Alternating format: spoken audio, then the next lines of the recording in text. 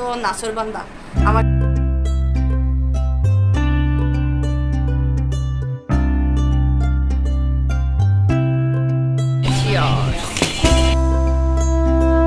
আমাদের বাসায় কি হয়েছে খাটে বলো তো একটু? রুগী ওষুধের বক্স নিয়ে বসে গেছে।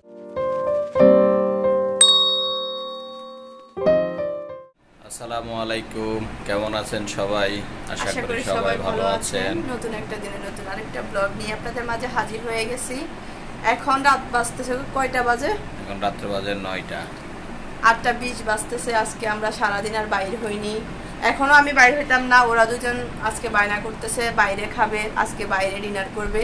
আমি বলতেছি ওকে নিয়ে আসো বাসায় কিন্তু এরা তো নাচর বান্দা আমাকে ছাড়া যাবেই না। আচ্ছা বলেন নিয়ে আসি সব সময় তো খাই আজকে না হয় একটু বাইরে যাই খাইয়ে আসি। ওদের কথা হচ্ছে যে বাইরে থেকে যেহেতু খাবারে আনব তাহলে বাসায় বসে খাব কেন? বাইরেই খাই বাইরে ফিরলি তো চলেন এখন রাতের বেলা খাবার খাব আর বাসার জন্য কিছু টুকটাক বাজার করতে হবে। আমরা বিকেলে আসলে মামে খাওয়ার মতো বাসায় কিছু থাকে না তাই ও আমাদেরকে বকাবকি করে যে তোমরা সারাক্ষণ একা বসে থাকো কেন?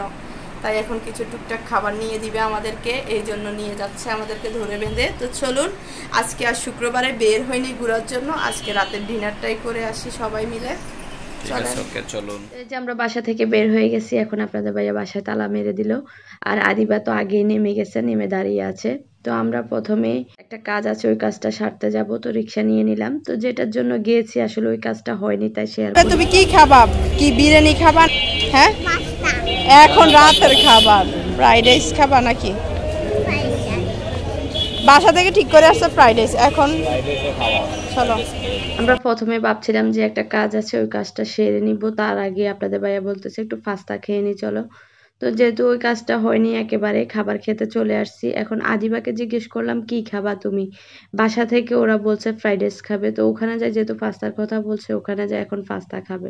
আপনাদের ভাইয়াও বলল যে, কি ফ্রাইড রাইস খাবা না বিরিয়ানি খাবা? তো পরে চিন্তা করলাম, ফ্রাইড রাইসে খাই। আদিবাও বলতেছে, পরে ফ্রাইড রাইসে খাবে। তাই আমরা ফ্রাইড রাইস খাওয়ার জন্য চলে আসলাম। এখানকার ফ্রাইড রাইস মজা হয়।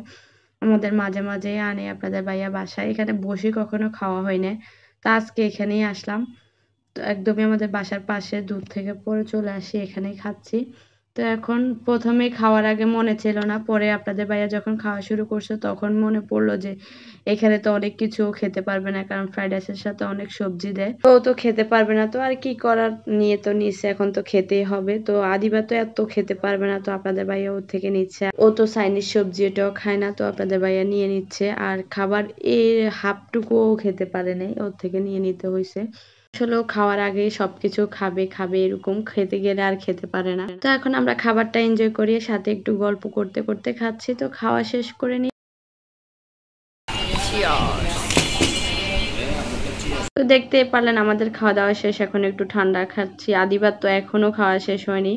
ওকে লাস্টে তো অল্প একটু দেওয়া হয়েছে তাও শেষ করতে পারেনি। পরে আবার ও বলতেছে ওকে খাওয়াই দিতে তো ওর বাবা খাওয়াই দিল। পরে ওই যে বললাম বাসার জন্য কিছু টুকটাক জিনিস কিনতে হবে তারপরে কিছু ফ্রুটস কিনলাম ডালিম যেমন কমলা সাথে বিস্কিট টিস্কিট আরও নানান জিনিস কিনলাম। তারপরে আদিবার ম্যামের সাথে দেখা হয়ে গেল ওখানে একটু কথা আমাদের বাসায় কি হয়েছে খাটে বলো তো একটু তুমি? আমাদের বাসার খাটটা আসলে আমি একটু বলি আপনাদেরকে একটু সিম্পলে বলি সেটা হচ্ছে আমাদের বাসার একটা লোক আনলাম তোষকের জন্য।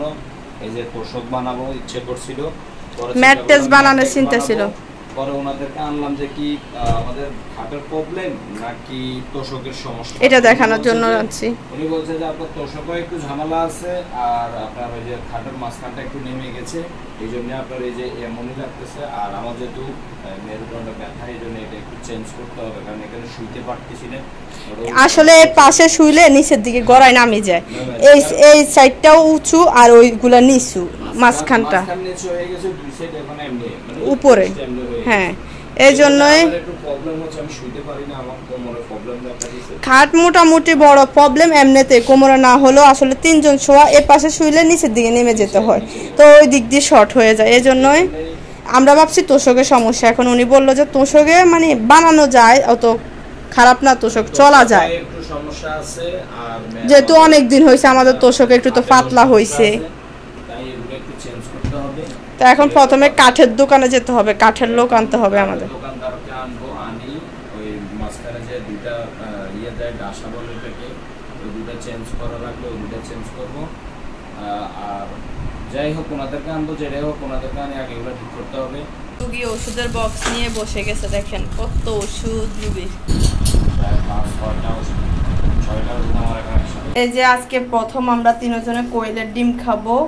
আপনাদের ভাইয়া এগুলো নাকি খায় না ওর পছন্দ না। তারপর আমি নিলাম, দেখি আজকে একটু খেয়ে দেখব। আদিবাবা বলতেছে খাবে, তাই তিনটা নিলাম। আসলে কেমন হয় না কেমন হয় আমরা তো কখনো খাইনি।